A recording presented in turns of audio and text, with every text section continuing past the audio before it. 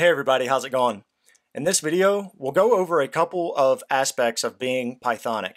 Now, if you've never heard the term Pythonic before, basically, in short, what that means is that you're following conventions and coding styles of the Python language in order to write clean and readable code. So in this video, we'll specifically be looking at two aspects of being Pythonic, and those are duck typing and the concept that it is easier to ask forgiveness than permission. And sometimes you'll see people uh, abbreviate this online as EAFP. Now, these two concepts are very closely related, so that's why I'm putting them in the same video. So first, let's take a look at duck typing. Now, the reason it's called duck typing is because with this concept, you assume that if an object walks like a duck and quacks like a duck, then it's a duck. So what does that mean exactly? Uh, that means that we simply don't care what type of object we're working with, we only care if our object can do what we ask it to do. But I think this will be more clear if we take a look at an easy example here to see exactly what this means. Uh, so in this easy example, I have two very simple classes here. I have a class duck, and it has two methods, quack and fly. And then I have a class person, and it also has two methods, quack and fly. And both of these methods do different things depending on the class. Now I also have a function here called quack and fly, and the purpose of this function is that we're going to try to pass in this object thing, and we're going to try to run the quack method and the fly method on it. And you can see down here at the bottom, I'm making an instance of the class duck, and I'm passing that into our function. And then I'm also making an instance of the class person, and I'm passing that into our function also. So first let's take a look at something that is uh, not duck typed. Uh, so this is non-Pythonic. So in a non-duck typed example, we will specifically check if the object that we're working with is an instance of a duck. Now this one's sure that we can use all of the methods and attributes that we want to use. So you can see here right at the top, uh, as soon as we enter the function, it's saying, is this thing an instance of duck? If so, then run these two methods, and if it's not, then print that it has to be a duck. And you can see here that we're running this on a duck and on a person. So if I run this code, you can see that when we pass in the duck to this function, that we get what we expect. It runs those two methods. But whenever we pass the person, person into this function, uh, it comes back and it didn't meet that conditional of being an instance of a duck. And instead it printed out, this has to be a duck. But if we remember at the beginning of the video, I said that in duck typing, we don't care if this object is actually a duck or not. We only care if it behaves like a duck when asked to do so. So again, you'll see that definition online that if it walks like a duck and quacks like a duck, then treat it like a duck. So our person class does have the quack method and the fly method, uh, so there's no reason that it shouldn't work in this function also. So let's just go ahead and take out these checks and just try to run it. So I'm going to take out all of this code and just leave where it tries to, and I'm going to leave that print statement in there to uh, get a little space here between these two. So now I'm just passing in an object and I'm just trying to run these methods and if it works then great. So now you can see that if we run this, now it doesn't care what object we're passing in and it just comes in and it runs both of these methods regardless of what the object is. And that's what duck typing is. We don't care if it's a certain type of object, we only care if it can do what we ask. So now you might be thinking, um, like, well, isn't this dangerous? So can't we pass in just any object that will potentially throw an error? And that's true. So you might be tempted to say, okay, well, all we care about in this example is not what type of object it is, but whether it can quack and fly. So how about we put some checks in place to make sure that those methods exist? So this is where that second concept comes in, uh, that it's easier to ask forgiveness than permission. So first let's take a look at the non-Pythonic way to do this, and this is usually called uh, look before you leap. So let me get the snippet out here, and I'm just going to go ahead and copy this code example and paste it into my function here. So in this example, we might be tempted to make a check for each method that we want to call. Uh, so first we want to run the quack method. So you might first want to check if that attribute actually exists within our object. And that's what this line does here. Does this thing have the attribute of quack? Then second, we might want to run a check that says, okay, if it does, then is it callable? And if it's callable, then we finally run it. And then we'd have to do the same thing for the fly method also. We'd say, okay, does this thing have a an attribute fly? Okay, it does. Is it callable? If it's callable, then run the fly method. So you can see how something like this would be pretty cumbersome after a while. So we're asking for permission at every step of the way. We're saying, can we do this? Can we do this? And then finally, if we pass all the permissions, then we actually do what we want. So that concept that I was talking about, that Pythonic concept that it's easier to ask for forgiveness than permission, frowns upon this. Instead, with that concept, we just want to say, let's try to do something, and if it doesn't work, then we'll handle it. So instead of doing this non-Pythonic way, then let me go over here and grab the uh, easier to ask forgiveness than permission example, and let's look at the difference. So let me uncomment out this code. So right off the bat, you can see that this is a lot more readable. And what we're saying here is we're saying, hey, try to run these methods, and if you get an attribute error, then print out that error. So now if I rerun this code, then you can see that it still works. So it tried to come in and run both of these methods and it worked. Now, what if we add in a method that doesn't exist? So I'll add in, add in a method here that is bark. Now, if I run this, now you can see that it came in and it tried to run these first two methods, which worked, but then whenever it ran this one that doesn't exist, it threw this attribute error and printed it out to the screen. So it's saying that the duck object has no attribute bark, and it also said down here that the person object has no attribute bark.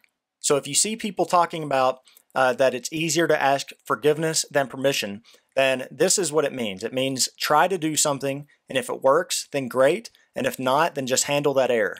Now, this concept uh, actually extends to other use cases outside of the use case that we're using it for here. So I'm just going to go ahead and delete all of this code here, and I'm going to hop over to our code snippets here, and I'm going to grab all of this code here and paste it in. And let me uncomment out this, and let me recomment these two lines here. So this is another small example where we have a dictionary, and I'm going to comment out uh, this section here for now. So we have a dictionary that has a name, an age, and a job.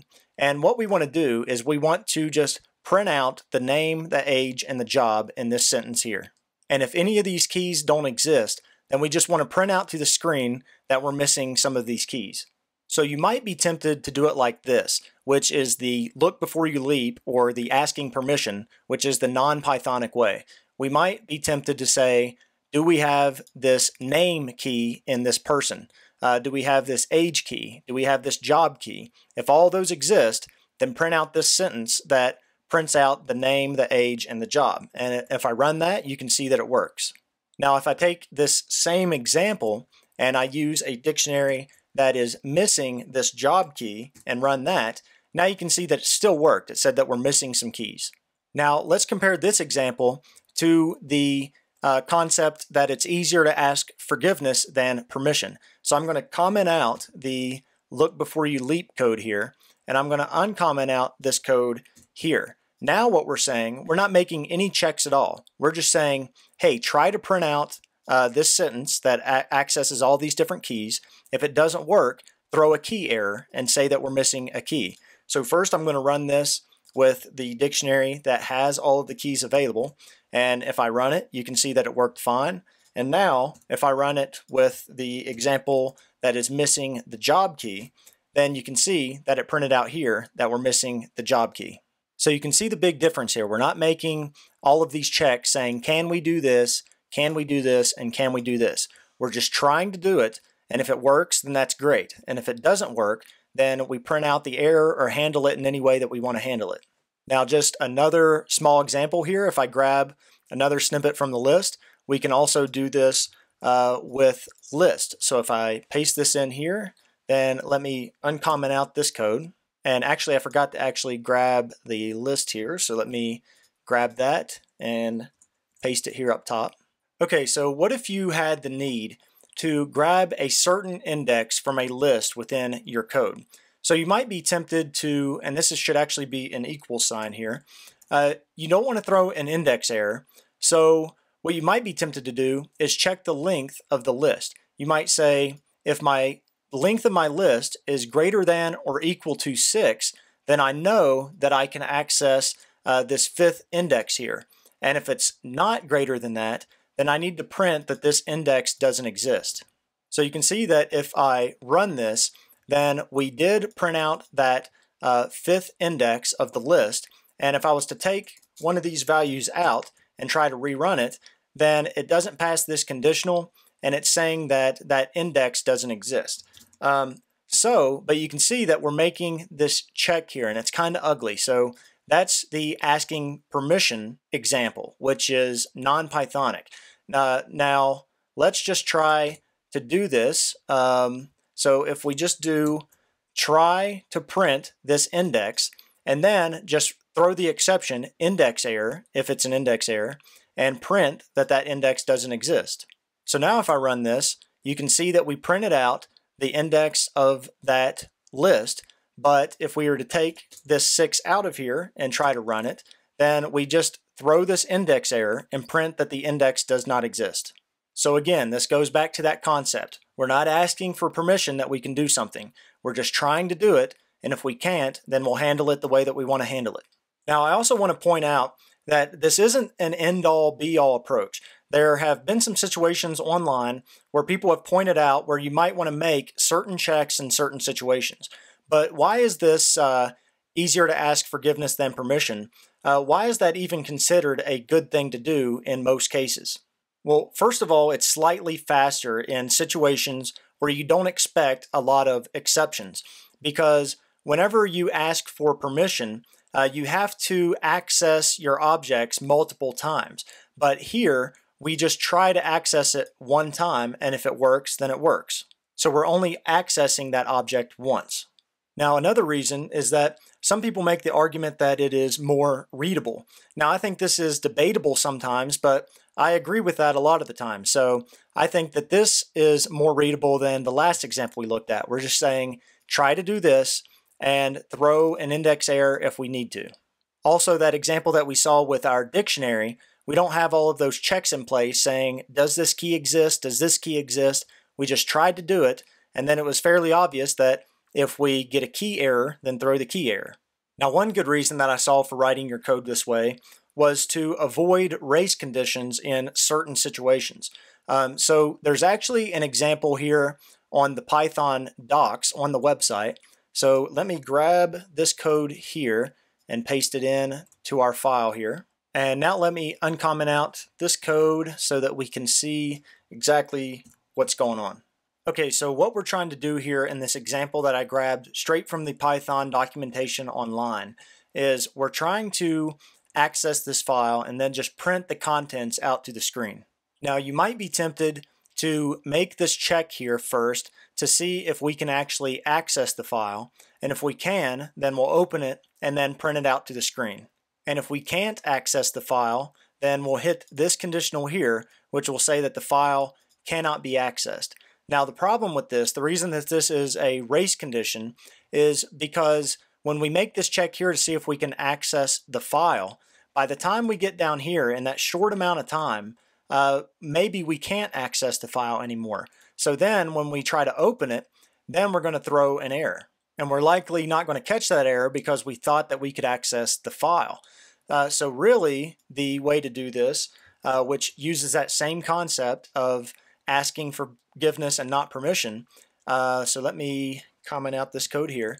So in this example, we're just trying to open the file. And if we can't do it, then we just throw an IO error and say that well, the file cannot be accessed.